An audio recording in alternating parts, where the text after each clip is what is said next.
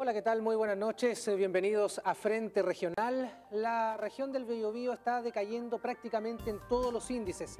Se habla de pérdida de competitividad, se habla incluso de un enfermo terminal al que le va quedando muy poco oxígeno. Las preguntas son, ¿es necesaria una reconversión general del ámbito productivo? ¿Basta con cambiar quizá la forma en que se están haciendo las cosas?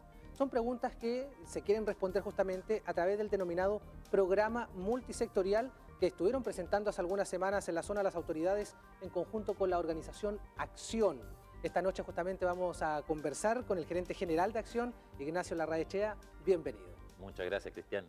Bueno, nos gustaría comenzar eh, conociendo un poco cuál es el diagnóstico que ustedes realizan de la región del Biobío en vista de las cifras. ¿Cómo está la región en relación con el resto del país?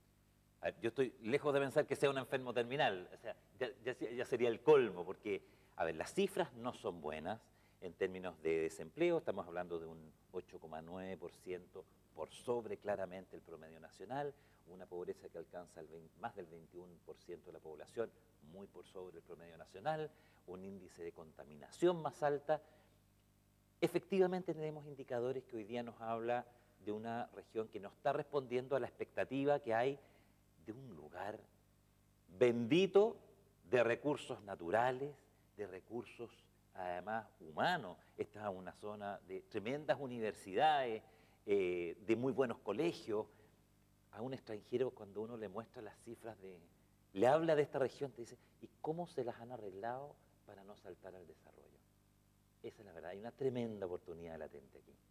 Ahora, eh, ustedes eh, como acción en algún momento tuvieron el apellido de responsabilidad social empresarial. ¿Todavía lo siguen manteniendo ¿Por qué ahora ya no aparecen mucho con eso? Una gran discusión y, yo creo que muy pertinente. El rol de las empresas, más allá de su última línea, sus negocios, de ser rentable y de tener algún tipo de compromiso con la sociedad, que se llama responsabilidad social corporativa o empresarial, ha tenido muchas vertientes.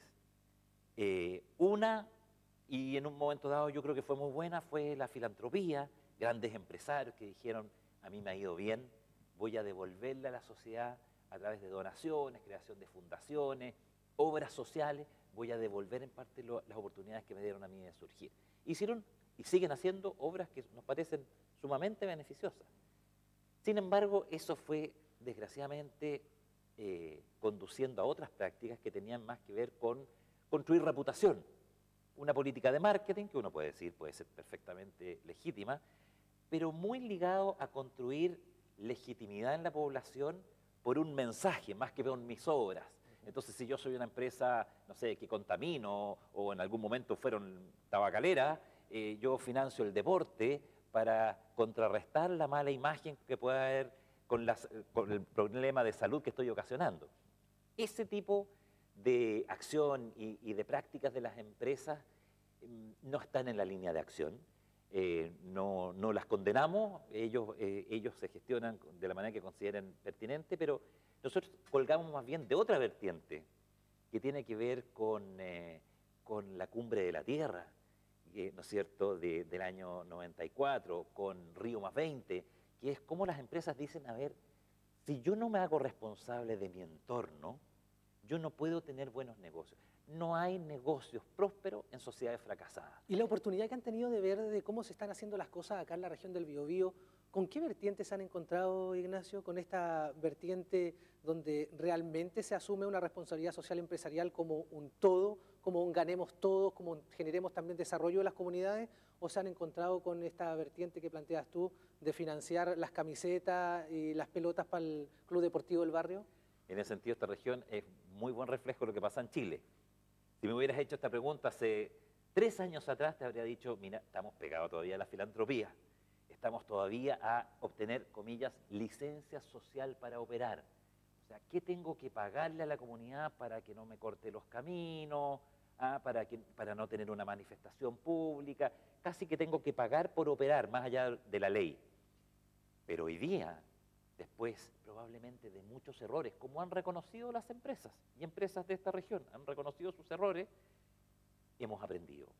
Por convicción o por presión de la ciudadanía, como uno quiera, las empresas hoy día se dan cuenta que tienen que renovar su mirada sobre el negocio. Tienen que estar mirando la última línea, no solo de sus shareholders, perdona el anglicismo, sobre la rentabilidad para los accionistas, sino que también la rentabilidad para los vecinos, para los trabajadores y para los consumidores. Ese es el nuevo modelo de negocio. Por eso que las empresas hoy día están sufriendo una transformación tan brutal en sus prácticas. Porque ya no se trata de contaminar un poquito menos o de regalar unas camisetas por acá. Se trata de mirar de otra manera el negocio. Y en la región yo puedo dar fe de las empresas socias de acción que están en el cambio. Ninguna de ellas hoy día se pondría a sí misma en un pedestal diciendo yo ya estoy bien. Ninguna. Todas parten por decirnos estoy aprendiendo, esto es difícil, esto cambia la, la cultura del directorio, de la gerencia y de los propios trabajadores. En eso estamos, en mitad del cambio. Ahora, acá hay otro actor que va más allá de los trabajadores y del directorio que tiene que ver, que tú bien lo planteabas, la comunidad. Y para generar eh, estos cambios que se pueden estar desarrollando al interior justamente de las empresas, se requiere reponer algo que es súper importante y que tiene que ver con las confianzas. Acá, tal como tú dices, en la región del Biobío eh, hay empresas que han, están aquí desde hace décadas y donde la relación efectivamente tenía que ver con una relación en algún momento distante, en otros momentos absolutamente de antagonismo, en otros momentos eh, de entregar lo que sobraba, lo que chorreaba, y eso efectivamente es así. Es decir, cómo se establece y se incluye también a la comunidad dentro de lo que usted dice es esta nueva mirada que están dando ciertas empresas de la zona. La palabra clave es la co-creación, co-creación de valor.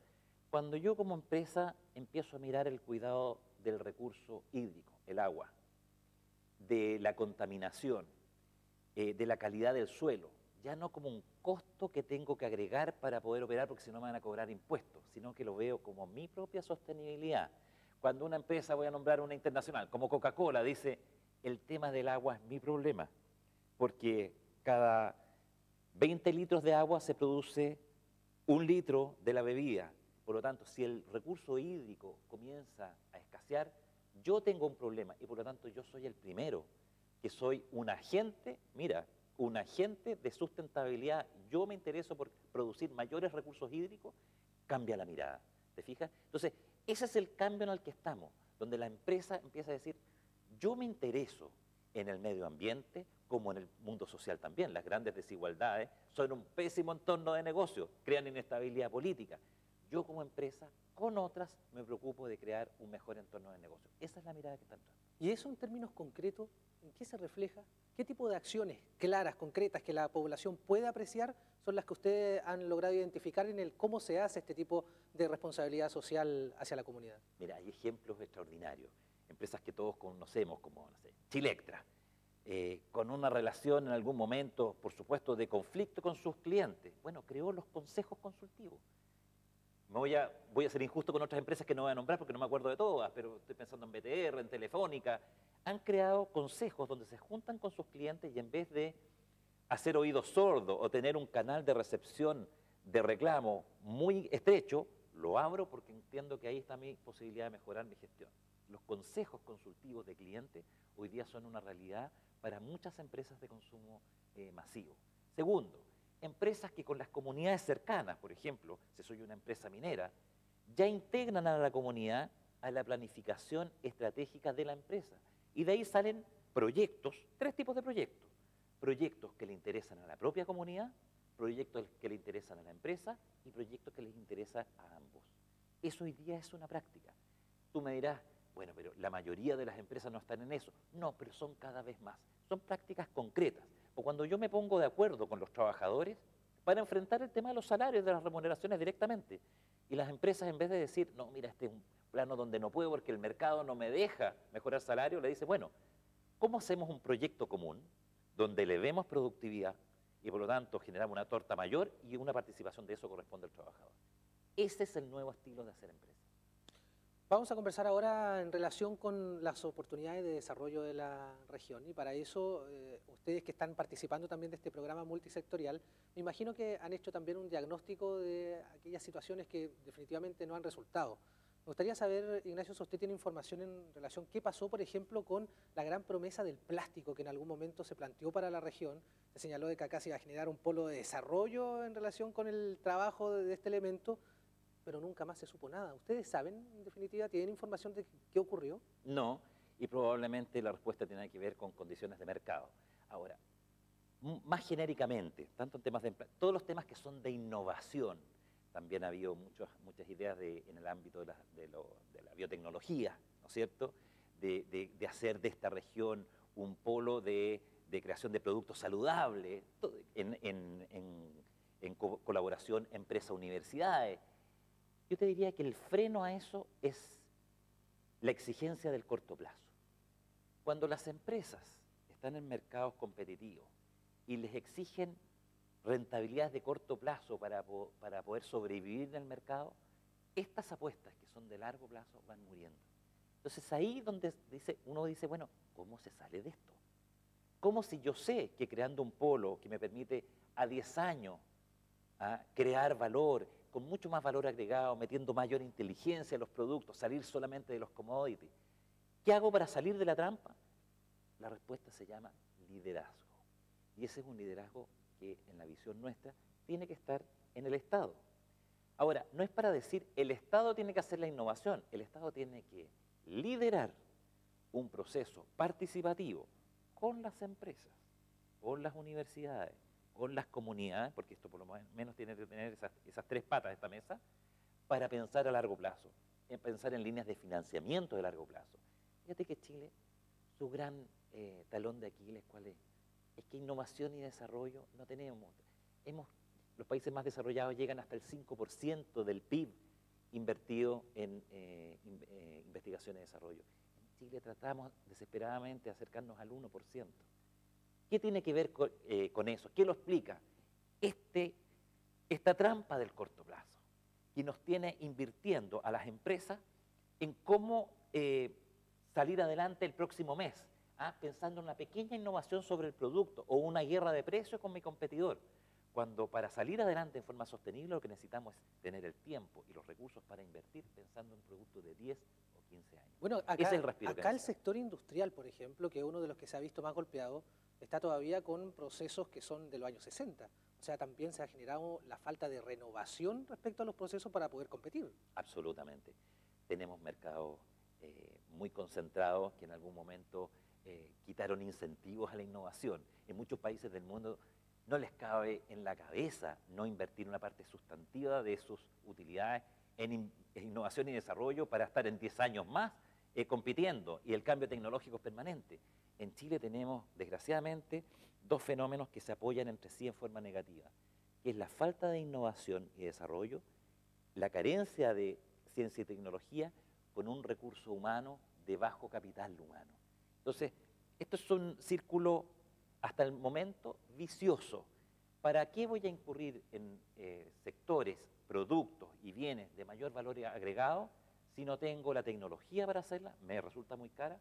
Y si mis trabajadores no son capaces, por capital humano, de asumir ese tipo de trabajadores. ¿Y quiere que le agregue uno más? Sí.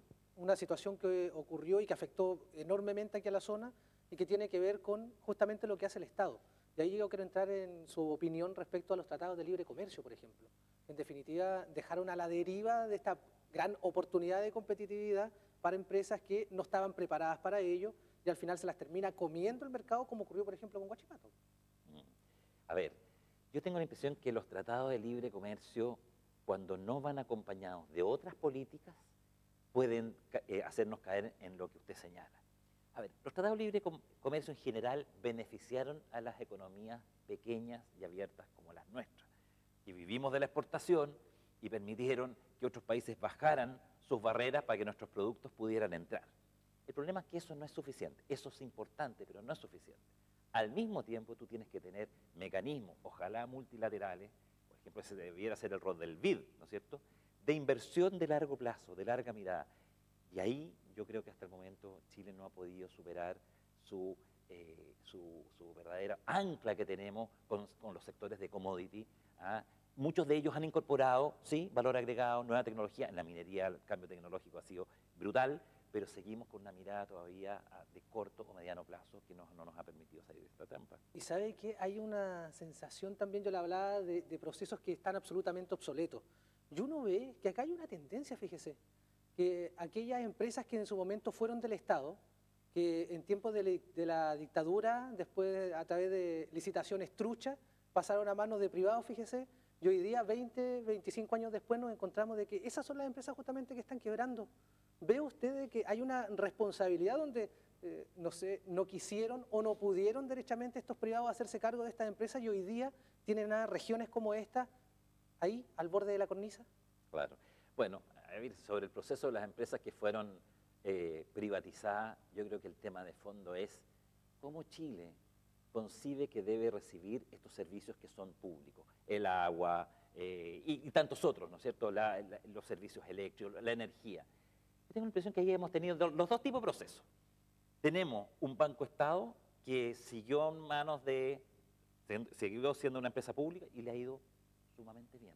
Ha sido capaz de entrar en una lógica de mercado, sin renunciar, por ejemplo, a tener una banca de microempresas cerca de 200.000 hoy día, o sea, ha podido seguir cumpliendo su rol público, ah, pero en los mercados eh, donde compite, compite de igual a igual con las mismas prácticas.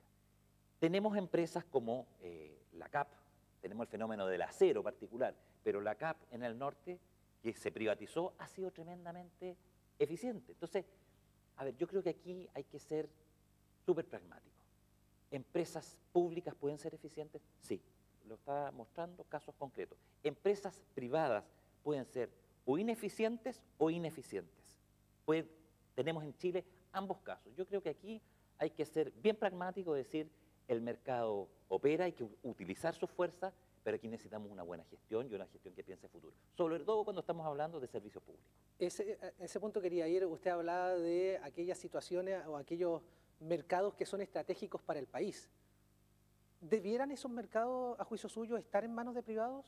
¿O debiera eh, estatizarse, trabajarse con las espaldas que el Estado cuenta para que si en algún momento, así como se dan las situaciones, eh, las, condiciones del viento son distintas, efectivamente exista un Estado que no deje el, rancho tirado y se preocupe efectivamente de aquello que es estratégico para, para la nación? La experiencia internacional es bien clara.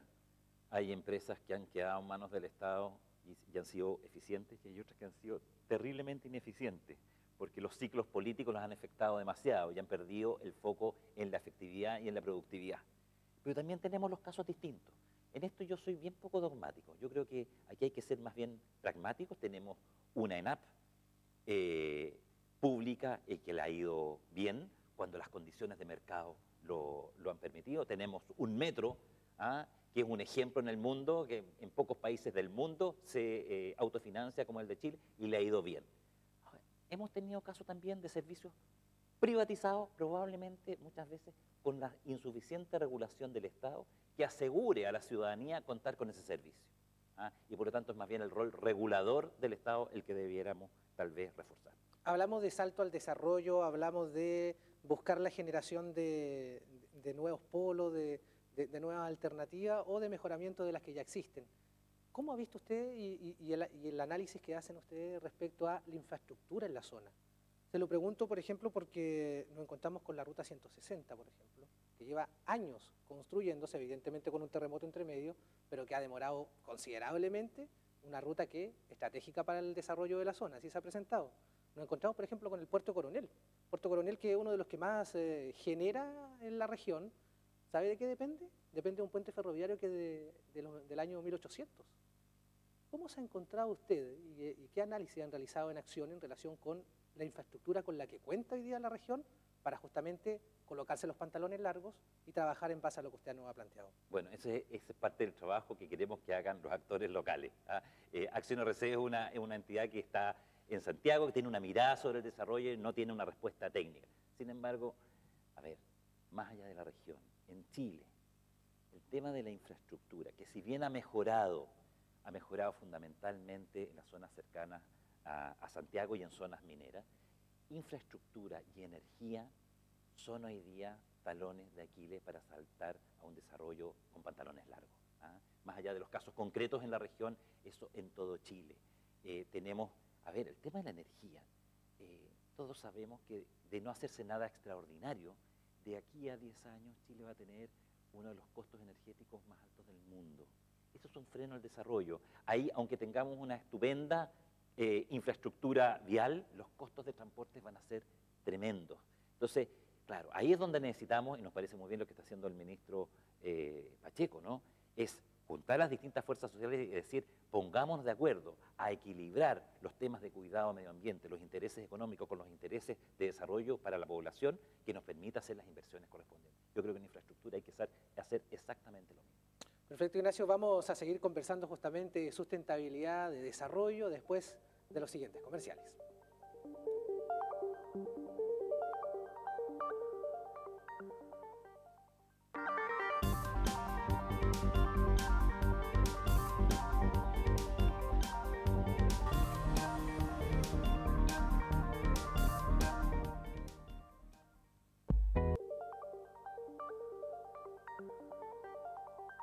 Continuamos hablando con Ignacio Larraechea, gerente general de Acción. Eh, ¿Cuántas veces, Ignacio, hemos visto acá que el trabajo que ustedes están realizando se, anuncia, a lo menos, en otras ocasiones? Vemos que los distintos actores dicen, ah, ¿saben qué? En realidad tenemos que dar el gran salto al desarrollo de una vez por todas. Se sacan la fotografía con, los empresarios de turno, con las fuerzas vivas de turno, con la ciudadanía. Eh, hacen unos puntos de prensa por aquí y por allá, pero resulta que después nadie se acuerda. ¿Por qué usted ve que el trabajo que eh, están realizando ahora va a ser distinto o ha sido distinto en su origen a lo que ya se ha hecho acá? Yo tengo la impresión, yo no soy sociólogo, soy economista, pero que tenemos una verdadera enfermedad en Chile de una sociedad atomizada. Fíjate que, solamente para un contexto, hace no tantos años atrás el PNUD hizo una encuesta eh, tratando de ver los sueños de los chilenos. ¿Con qué soñábamos como sociedad? Y se encontraron con que la capacidad de soñar estaba prácticamente inhibida, a diferencia de otros países del mundo. Entonces, llamó la atención este resultado. Hicieron un nuevo estudio y descubrieron que los chilenos eh, tenemos eh, una imposibilidad de soñar porque tenemos una imposibilidad de actuar con otros. Es una sociedad tan atomizada, tan individualizada o individualista, que no cree, y, como cada uno sabe que solo no puede cambiar nada, solos nos cercenamos los sueños de cambio. ¿Por qué? Porque decimos, en realidad, yo soy un átomo dentro de esta cantidad de actores y no sé con quién hablar, con quién ponerme de acuerdo. Eso es lo que tiene es lo único que explica, de hecho, que un país como Chile y que una región como el Biobío no haya podido saltar al desarrollo. Esta dificultad para ponernos de acuerdo y concertar esfuerzos.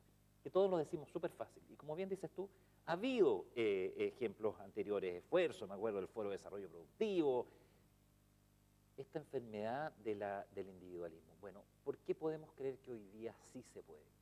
¿Sabes por qué? Porque hoy día es un imperativo.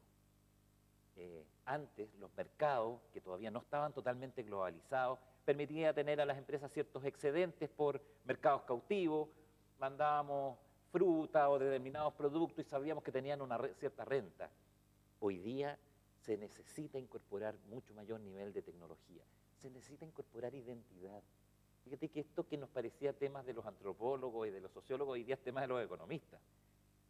Los países que han tenido grandes éxitos o empresas que han tenido grandes éxitos han tenido que ver con poder venderle al mundo una imagen. A ver, cuando uno compra té chino, uno tiene una imagen de lo que significa el té en la cultura china. No es lo mismo comprar un té chino que un té de cualquier otro lugar. Cuando los países logran impregnar sus productos de una identidad, de un sueño de país, de una propuesta al mundo, son capaces de, ¿no es cierto?, de vender, de penetrar esos mercados. Entonces, hoy día esto es una necesidad. Hoy día, también tengo que decirlo, vemos un liderazgo, vemos un liderazgo en la región. Hoy día estuvimos con, eh, y hace unos días atrás, con el intendente eh, de la región y realmente él es un convencido de que es la única oportunidad. Teníamos al lado, en, esa ocasión cuando nos, juntamos, al presidente regional de la CUT.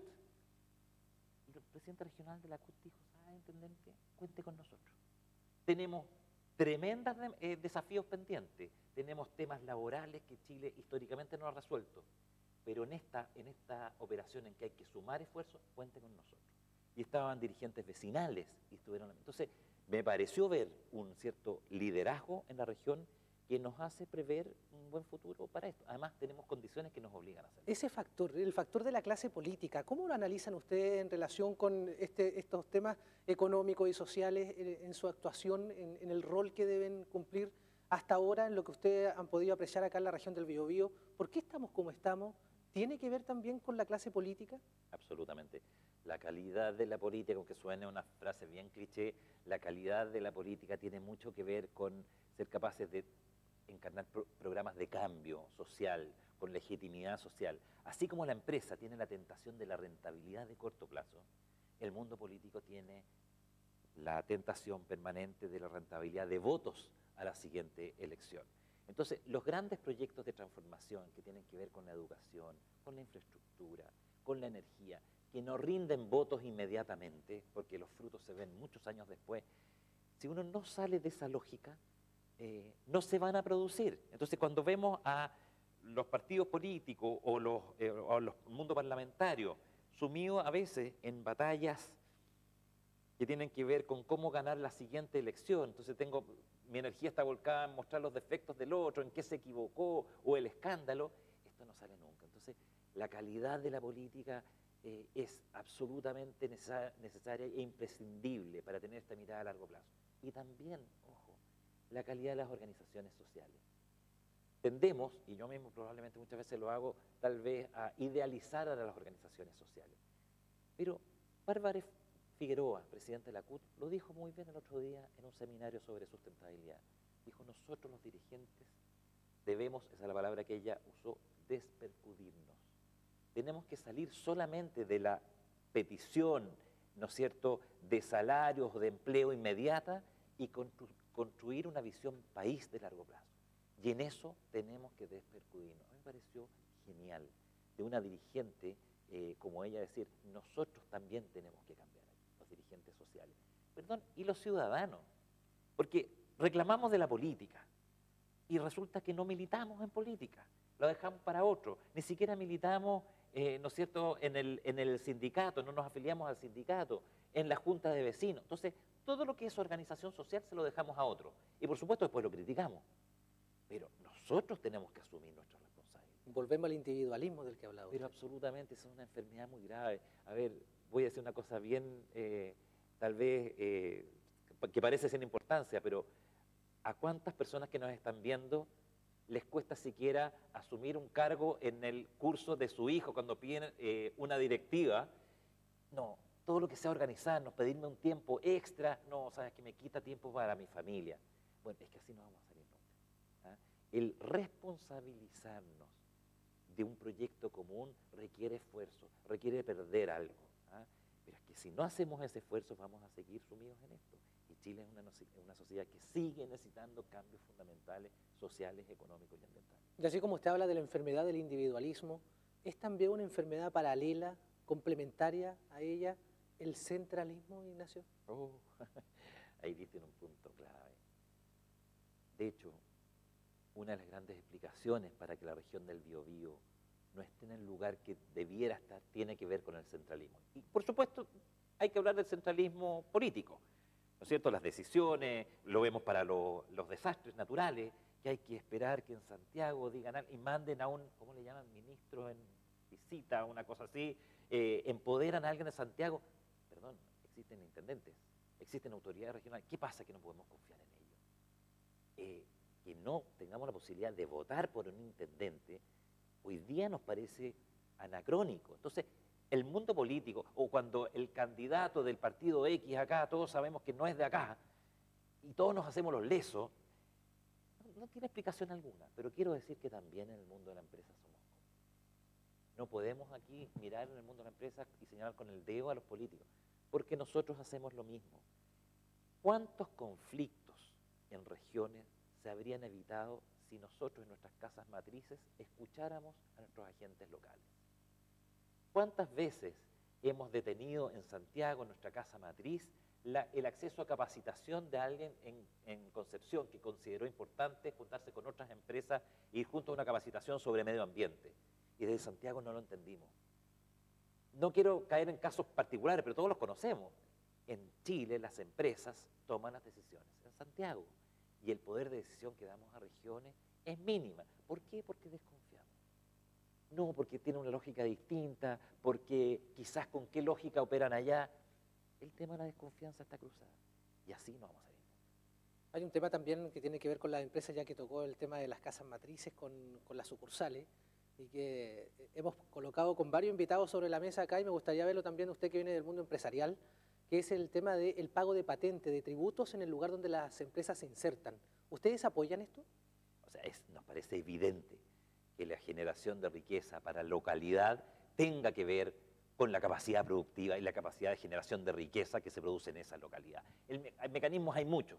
Lo que no nos parece es que haya mínimos tributos locales de empresas que están produciendo tremendas riquezas ahí, que sea por la vía de un impuesto y no de la patente. El tema técnico me da lo mismo, pero nos parece eh, difícil de explicar por decir lo mínimo. Ahora, tampoco me parecería justo como ciudadano que una localidad donde no hay, por recursos naturales, por lo que sea, pocas capacidades de producción, le digamos, no, ahí no hay patente, entonces esa va a ser una municipalidad pobre.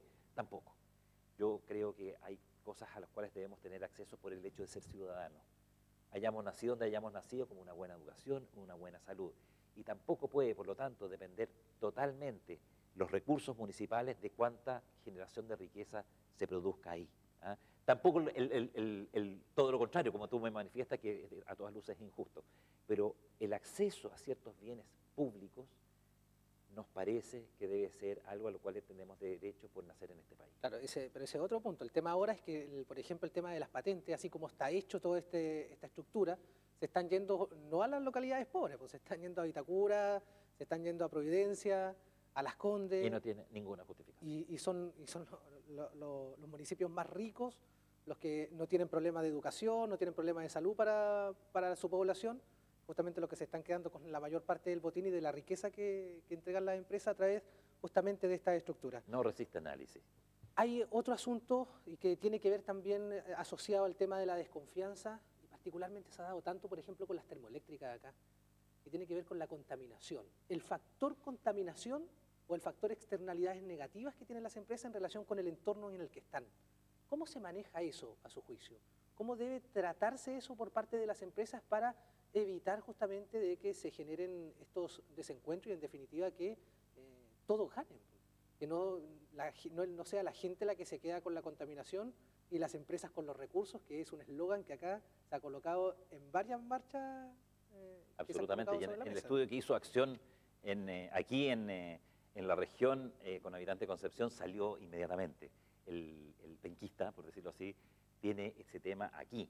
¿Ah? La empresa contamina y no paga por, por contaminar. Yo creo que hay, hay, hay varios niveles de análisis. Uno, de que la obligación de eficientar procesos para que la generación de riqueza vaya a la par, el aumento en la generación de riqueza con una disminución de los impactos negativos, tiene que ser sí o sí. ¿Qué quiero decir con esto? aun si la empresa pudiera compensar en dinero el daño que está produciendo a la localidad por daño ambiental, eso tiene un límite también. ¿Por qué? Porque hay procesos de daño ambiental que no tienen vuelta atrás y por más que pongamos dinero para compensar, sabemos que los nietos de esas personas no van a poder vivir aquí, porque tal vez el daño sobre el agua o sobre el suelo es irreparable. Entonces, un primer nivel de análisis es que Chile ya tiene, y ha avanzado bastante en eso, sí, hay que reconocerlo, en bajar absoluta, en subir las, las, limitaciones al daño ambiental y por lo tanto eh, que hay actividades productivas que en determinadas condiciones no se pueden realizar. y eso ya, ya, sucede. Y lo que sucede también es que la contaminación en definitiva termina también siendo parte del negocio, porque existe una, cantidad de, de material particulado que se puede ingresar al ambiente todo eso está arreglado, y resulta de que las empresas, cuando, cuando por ejemplo quieren hacer una ampliación de, su, de sus plantas, como ocurrió con Bocamina, ¿qué es lo que se hace? Se, eh, ahí es cuando llega la tecnología y se dice, no se preocupe porque con lo que voy a contaminar acá, yo lo voy a bajar con mi primera planta. Y, y ahí yo le incluyo eh, la tecnología de esa planta. Cuando justamente quiero ampliar mis procesos. Entonces también termina siendo un activo de la empresa. Eh, termina siendo algo con lo que las empresas juegan. Entonces no se ve ese compromiso. Debe ser parte también de lo que ustedes descubrieron. No se ve ese compromiso por parte de la empresa de hacerlo per se porque corresponde, porque yo también estoy eh, generando esto dentro de este medio ambiente y corresponde que la comunidad también viva de buena forma con una buena calidad de vida. Existe ese, caso. existe. Existe ese caso. No lo quiero negar porque todos sabemos y las empresas han reconocido, muchas, la mayoría de ellas, sus errores. Pero quiero decir que también hay otros casos que también me preocupan. Incluso tú puedes llegar a compensar a la comunidad cercana. Pero no nos olvidemos que hay muchos daños ambientales que influyen globalmente. Perdón, la emisión de carbono, la gran preocupación no es el vecino. El carbono es un daño que yo lo haga donde lo haga, estoy dañando un solo bien único. Por lo tanto, el control sobre las emisiones para no seguir dañando la capa de ozono es mucho más allá del daño a la comunidad inmediata. Por lo tanto, también tenemos ese caso, que podemos incluso tener una empresa con altos niveles de contaminación, pero por distintos medios de compensación llega a un acuerdo con las comunidades, pero eso no nos priva de decir aquí tenemos un problema enorme, porque sí estamos contaminando y esto ocasiona un mal global. Ahora, también, para ser justo, existe el otro caso, donde el nivel de efervescencia social tiene más que ver con una imagen de lo, ocurrió, de lo ocurrido con lo, con lo ocurrido realmente. Voy a dar el caso cualquiera, Huasco, para no hablar aquí. En, el Valle de Huasco ha habido problemas de contaminación. Resulta que el nivel de contaminación de Huasco es exactamente el mismo que hay en Viña del Mar. Pero ¿qué ocurre? ¿Por qué la población en Huasco está eh, activada? Porque las empresas no han, tenido muchas veces el debido nivel de diálogo con las comunidades. Y por lo tanto se parte desde la desconfianza. Hay empresas, y me consta en esa región, que han eficientado sus procesos y por lo tanto han llegado a niveles razonables de contaminación, pero la comunidad simplemente no les cree. Por un pasado en que ellos saben que las empresas cometieron grandes errores y la gente tiene memoria, pero también porque las empresas no han sabido hacer el diálogo con esas comunidades. Entonces hoy día nos encontramos en general, con procesos en casi todas las industrias extractivas en Chile, de baja de la contaminación, de tecnologías más limpias, y las comunidades siguen desconfiando. Y lo que ustedes han visto, que nos faltan es diálogo. Y ustedes lo que han visto, eh, aprovechando de preguntarle en, esta misma línea, ¿los ambientalistas han sido un aporte o parte del problema también? A ver, ciertamente que para muchas empresas el, el ambientalista eh, he visto como un tremendo costo porque es el que levanta temas que atentan finalmente contra el prestigio de la empresa y se le ve como un, como un agente negativo que ojalá no existiera. La verdad es que si hoy día uno mira hacia atrás, eh, el mundo de los ecologistas, de los ambientalistas, ha hecho un aporte a la discusión. Hay temas que no, habían, no habrían sido puestos jamás sobre la mesa si no hubiera sido porque existieron organizaciones independientes ah, que supieron poner un tema de vanguardia cuando nadie lo tenía en su, en su acervo cultural siquiera, pusieron temas sobre la mesa y a la larga hubo la necesidad de enfrentarlo y muchos de ellos, por lo tanto, hicieron un gran bien. Ahora, también sucede que hay ideologismo. También nos hemos encontrado con eh, ONG ambientalistas que tienen más bien una predisposición per se negativa a las empresas. Y me parece que es un exceso. O sea, Chile necesita empleo, necesita empresas, necesita emprendimiento, necesita innovación. Eh, y por lo tanto, un discurso anti-empresa no nos hace bien. Cualquiera sea el modelo político o económico que, que adoptemos en Chile, necesitamos empresas. Entonces, tenemos de todo. Cuando se ideologiza esta discusión, yo creo que para cualquiera de los dos lados es muy negativa. Aquí hay que hablar sobre hechos concretos. Ya estamos terminando eh, saber entonces por hacia dónde apuntan las soluciones hoy en día. No me vaya a decir el turismo, porque siempre que preguntamos soluciones, nos dicen el turismo. ¿Hacia dónde ve usted que hoy día se va a encauzar la región del Biobío para poder salir de este magro panorama en el que está? No voy a cometer el terrible error de muchos santiaguinos de venir yo a decir de esta región lo que tiene que hacer. Va a surgir de la conversación. Pero esto a nivel más global, no solo para esta región nosotros soñamos con que finalmente se cree aquí el polo necesario entre el mundo de creación de, valor intelectual, de valor cultural, como es el mundo universitario, con el mundo de la empresa. A ver, voy a dar un ejemplo concreto. Viña Concha y Toro. no solo le está yendo bien en los mercados internacionales para vender vino, ya creó su propio centro de innovación, unos centros de innovación tecnológica más modernos de América Latina. Es decir, sacrificó utilidades de hoy para crear un centro tecnológico de punta para tener respuesta a los temas de 15 o 20 años Eso es lo que necesitamos. Y esta región tiene universidades de primer orden, profesionales, intelectuales, académicos de primer orden. Lo que falta y lo que necesita es que eso se transforma en innovación y que finalmente se incorpore a los productos y servicios. ¿Y ahí ha habido celo político o celo académico? Probablemente hay de ambas partes. La academia tiende a mirar con recelo al mundo de los negocios, como diciendo yo estoy en la pureza de la ciencia, y la empresa muchas veces dice, estos señores están hablando de cosas ilusorias, ah, académicas, pero eh, que no tienen valor en el mundo real. Tienen que encontrarse esos dos mundos con el mundo social también. Yo creo que esta es la gran respuesta que hoy día han dado los países que han sido exitosos y que han superado situaciones más críticas que las que tiene Chile hoy. Por lo tanto, es posible. Ignacio, quiero agradecerle esta conversación con Frente Regional. Muchas gracias a ti. Ustedes lo vieron, Ignacio Larraechea, gerente general de Acción, en conversación esta noche acá en Canal 9 Bio, Bio Televisión. Comente estos temas de sustentabilidad, de empresa, del cómo vamos a mirar la región para adelante a través de Twitter, hashtag Frente Regional. Muchas gracias por su sintonía. Muy buenas noches.